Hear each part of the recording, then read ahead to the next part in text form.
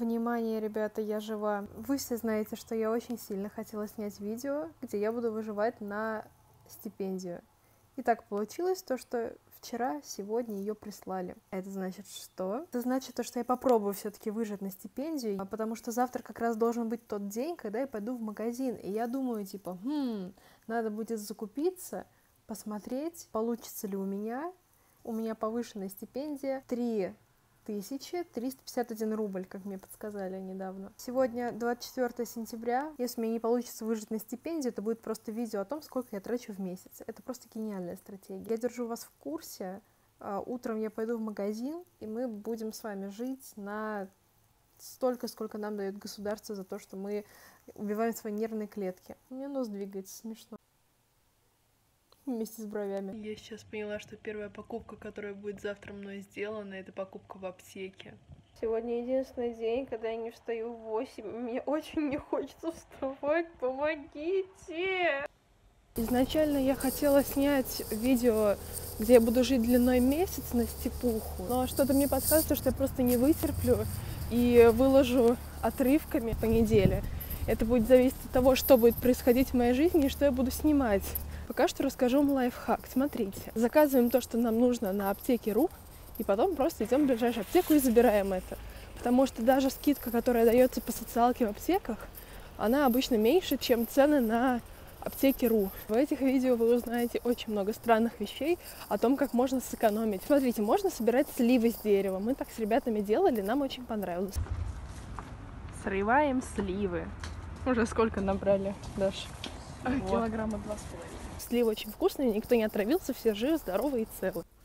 В аптеку мы с вами сходили, думаю, сейчас я схожу в магазин, а обзор того, что я купила и чем я, в принципе, питаюсь, я уже сниму, когда приду в общагу, потому что я еще не настолько блогер, я вообще не блогер мирового масштаба, чтобы снимать в Дикси, Пятерочке, Магните и прочих моих любимых магазинах. Че, ребята, обзор покупочек, чек чем мы там накупили и чем вообще питаются видеоблогеры в наше время. Геркулес традиционный. Я очень люблю кашу, и практически каждое утро я питаюсь кашей, и сегодня тоже планирую это делать. Очень вкусно, кайфую вообще. Молоко. То, которое стоит не в холодильнике, потому что во мне живет иллюзия, то, что оно будет храниться дольше. Блинчики, потому что они были по скидке. В жизни бывает всякое. Творожный сыр, сметана, хлеб, бананы, грибы. В принципе, это все, чем я питаюсь в обычной жизни. Мясо тут редко присутствует. Сладости я э, ем редко. Они у меня есть и где-то там лежат. Я не стала брать в расчет там всякие специи, масло, какие-то дополнительные крупы, потому что я считаю то, что если вы живете, допустим, в общаге какое-то время, то у вас это уже есть, и вы ходите в магазин только докупая то, что у вас заканчивается. Если я планирую снимать то, что я буду есть, то вы увидите, э, как я питаюсь, и поймете то, что вы такого не захотите. В принципе, это все. Давайте приготовим завтрак. Такой, который я обычно ем. Каждый день. У меня ничего не меняется в жизни, у меня все стабильно, я каждый день ем одно и то же. До свидания.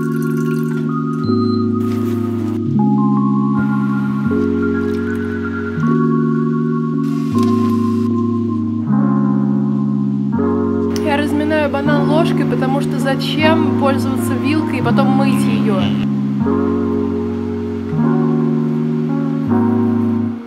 Я понимаю, что вы все очень долго ждали, и я вам сейчас об этом расскажу. А как тебе третий курс? Хочется кричать «помогите». Но я не могу сказать то, что прям сильно тяжело невыносимо. Просто я сама себя э, обложила делами, со всех сторон, так что мне не вздохнуть, не пернуть. В какой-то степени э, такую занятость я даже люблю. Я такая пробивная достаточно. Пока что более-менее нормально. Просто жить постоянно в преддверии того, что скоро будет жопа, мне уже надоело. На следующей неделе у нас несколько контрольных. По арге, по кристаллохимии и еще, по-моему, какая-то есть. Поэтому, когда мне говорят, Ксюша, где новые видосы? Ксюша, давай снимай. Я такая, нет, потому что, ну, правда, некогда. У меня неделя расписана прям, ну, типа, не по часам, но я знаю, в какой день мне куда нужно. И нет в этих днях практически ни одного где мне никуда не надо. То есть это своя лаборатория, это какие-то другие дела, это практикум по неорганической химии, на котором я теперь сижу, всем привет. А еще есть расписание, где первая половина дня дистанционно, а вторая очно. Вот этот перерыв в одну пару пустую, он все портит, потому что это время, за это время не, ну, не успеваешь ничего нормально сделать. Если бы был полностью дистанционный день, его можно было бы благополучно просрать. Видимо, они об этом знали, поэтому сделали так, чтобы студенты просто учились. В принципе, такой тарелкой каши, половиной бананчика и максимум еще каким-нибудь бутербродиком я наедаюсь очень хорошо. Обычно я не ем, прихожу сюда, либо готовлю, либо разогреваю то, что уже было сделано. Ну, а такой вот завтрак с Тиффани. Капец. Еще тест по радиохимии будет на следующей неделе. Я так боюсь, по этим предметам нет автоматов, вот можно взять только автомат по радиохимии. Я так хочу, чтобы он у меня был. Не знаю, я, я просто дурочка. За некоторые вещи мне очень стыдно. Мне не должно быть стыдно, потому что все мы люди, кто из нас не совершает ошибок. Но когда от количества ошибок в тесте, совершенных тобой, зависит, будешь ты умирать зимой или нет, мне кажется, тут следует просто чуть больше постараться на начальном этапе. Потому что все говорят, что первый семестр третьего курса это полная жопа. Я это знаю, я к этому готова. Вот такой вот вестник оптимизма у меня сегодня. Сейчас доем и буду собираться в универ. Через полчаса надо уже быть в состоянии выйти.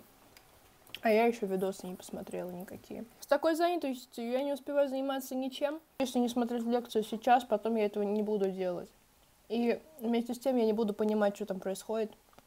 И когда это все обрушится в один момент, мне будет очень плохо, я это знаю. Важная вещь. С такой загруженностью банально не успеваешь пожрать. Я сходила вот сегодня с вами в магазин, Наверное, первый или второй раз за сентябрь. Еще немного я буду заказывать доставку. В принципе, это разумно. Соответственно, денег уходит на еду меньше. Соответственно, Поэтому я решила то, что у меня почему-то получится выжить на стипендию. Мне сейчас звонил наркодиспансер, и мне кажется, я знаю, куда я отправлюсь сегодня после шестой пары. Ой, после пятой пары, которая заканчивается в 6.20. Э, наркодиспансер работает до 8 часов вечера. Э, я надеюсь, то, что я успею.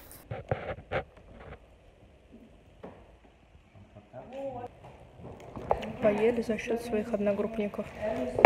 В общем, да, расклад такой, что мы захавали шоколадок на экономике. Сейчас я жду Жени, пока он выйдет с работы, и мы пойдем вместе подписывать важные бумажки. Потом мы напишем контрольную по истхиму на пятой паре, а потом поеду в наркодиспансер. Шоколадки были вкусные. Это еще один способ, э, как выжить, жить бесплатно, просто жрать за счет других. Мы зашли на ВМК. Мы вышли с ВМК. Женя сказал то, что если я помою посуду, он меня угостит пиццей. Так что, понимаете, жить бесплатно в наши дни вполне реально. Я так радуюсь, когда у меня получается прожить день бесплатно, мой внутренний еврей просто ликует. Вот, пока что мы едем. Да.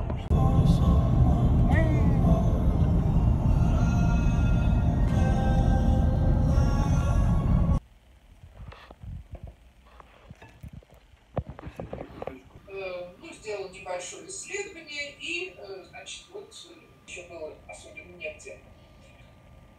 В какую-то, в какую-то науку углубился и Держу в курсе, никакой контроля не было. Мы просто так полтора часа посидели, посмотрели в экран. И теперь я направляюсь в наркодиспансер. Чем еще может заниматься женщина в самом расцвете сил в полседьмого вечера?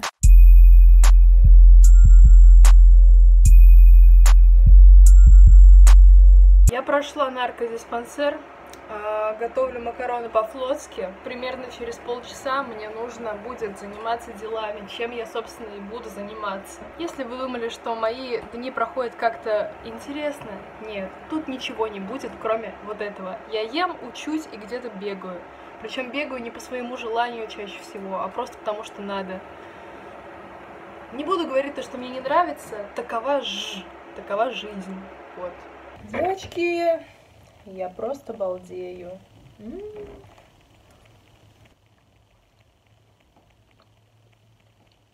Когда ты учишься в универе, ты начинаешь ценить простые вещи. Я сейчас так хорошо поем. Вечер просто заряжен на позитив. Приятного аппетита. Я так не делать. Сейчас три часа ночи. Перед этим я смотрела два часа ТикТок. Я не знаю, как я завтра встану. Помянем. Понимаете, иногда складывается у меня такое впечатление, то что я бухаю, но я не пью достаточно давно. И я не понимаю, в чем проблема. Почему я так плохо выгляжу? Почему я себя так плохо чувствую? Я смотрела два часа ТикТок. Мне понятно, почему так происходит, но мне обидно то, что я выгляжу так, как будто я бухаю. Доброе утро. Хм. Все еще на работе.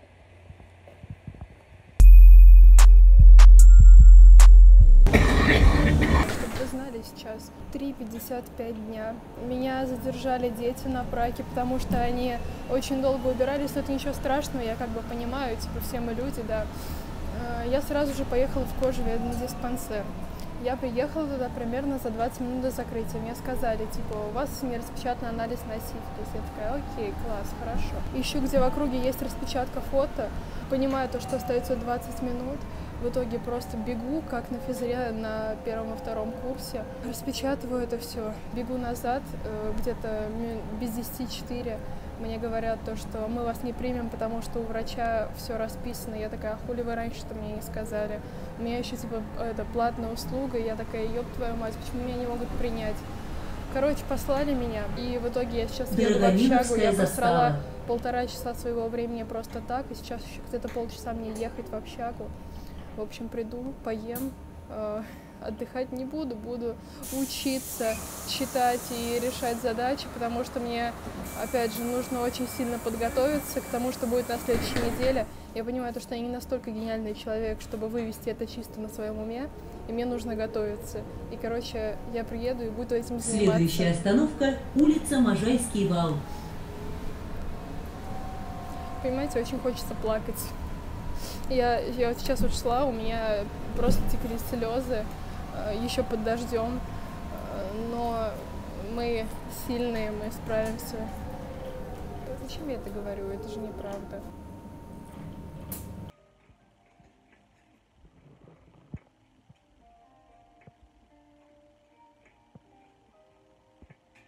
Несмотря на всю свою занятость, я выделила только что полный вечер на то, чтобы посмотреть половое воспитание. До этого я смотрела три серии, сейчас я досмотрела весь сезон до конца. Нет, я не жалею о потраченных пяти часах своей жизни, потому что это было прекрасно. Я не плакала в конце, но я почувствовала такое удовлетворение, когда досмотрела до конца, потому что все закончилось, ну, плюс-минус примерно так, как я ожидала. Не так, конечно, как хотелось бы. Понимаете, такие сериалы должны быть, потому что они на злобу дня.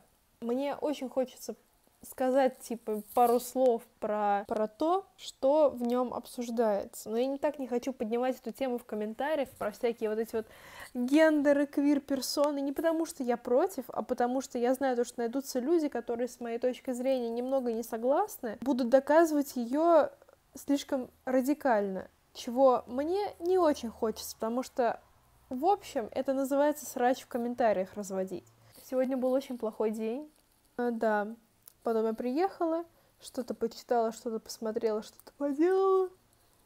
Поняла то, что сегодня выходной, и если я сегодня не посмотрю половое воспитание, то я его не посмотрю никогда. Поэтому я это сделала. Сегодня можно будет выспаться столько, сколько я захочу, наконец-то, потому что завтра мне никуда не надо.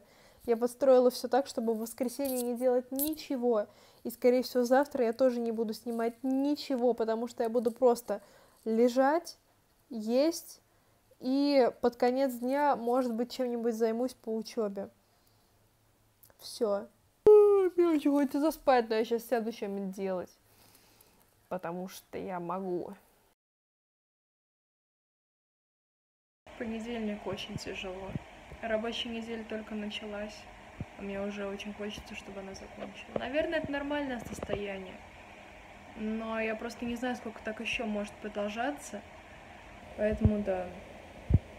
терпим-терпим, а потом терпим-терпим. У меня пропало абсолютно желание снимать что-либо, потому что после того, как меня послали в 202 поликлинике, я расплакалась, я не хочу, чтобы все моменты моей прискорбной и тяжелой жизни попадали на камеру. Поэтому, скорее всего, влог тут оборвется. Знаете, то, что мне не так просто, как может показаться на первый взгляд. Терпим, терпим, а потом еще терпим, терпим. И даже после того, когда мы умрем, мы будем еще терпеть и терпеть. Оставайтесь на связи. Я очень люблю осень. Мне очень грустно, что я очень мало гуляю осенью, потому что это мое любимое время года. Но, видимо, такой период в жизни каждого человека должен произойти. Тем не менее, несмотря на все говно, которое происходит у меня в жизни, я очень рада, что у меня есть друзья, потому что они помогают справляться хотя бы морально с большим количеством проблем, которые вот присутствуют в моей жизни.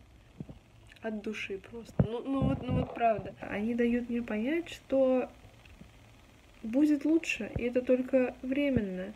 И типа, Ксюш, не парься, не надо так сильно париться, относись ко всему проще.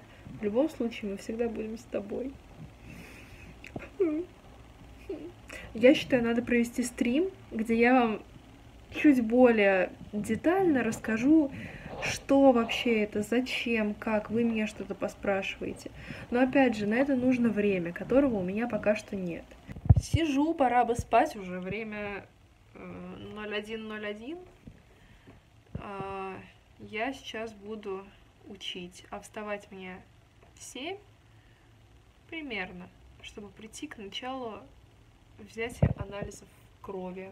Вчера у меня случился нервный срыв, э, такой небольшой. Очень люблю поликлиники, особенно 202 где я нахожусь, я сижу в практикуме по неорганической химии, который делают первокурсники. Зачем? Не знаю. Посмотрим, оправда... оправдает ли оно себя, но мне кажется, нет. Но как бы почему бы и да, собственно. Очень многие вещи в нашей жизни мы делаем просто потому, что а почему бы и нет. Мне в первую очередь очень обидно то, что из-за этого всего пока что, пока я оформляюсь, у меня нет времени учиться, и я боюсь, так боюсь просрать что-то важное, потому что я уже это сделала. Я понимаю, если бы я только училась, у меня бы типа все шло хорошо, я бы все понимала, успевала своевременно, и оставалось бы даже время на то, чтобы отдохнуть. А, но поскольку такой возможности у меня теперь нет, остается только терпеть и еще как-то более активно планировать свое время. Да. Люди в ближайшем окружении э, тоже заняты не меньше моего, Опять же, большое спасибо моим друзьям за поддержку. А, некоторые говорят, Ксюша, бросай э, этим заниматься, дай время отдохнуть себе, потому что психическое здоровье намного дороже, чем вот это вот твои старания, непонятно зачем. А другие говорят, ну это просто нужно перетерпеть, и дальше будет легче.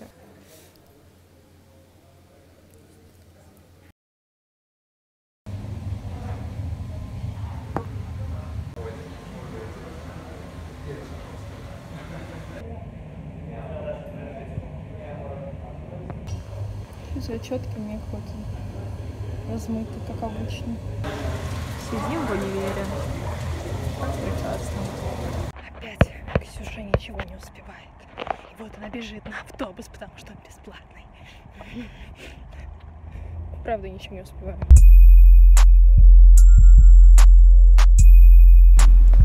Я слишком часто в последнее время вижу этот ракурс. Я уже не могу я не вывожу одно и то же каждый день. Помогите.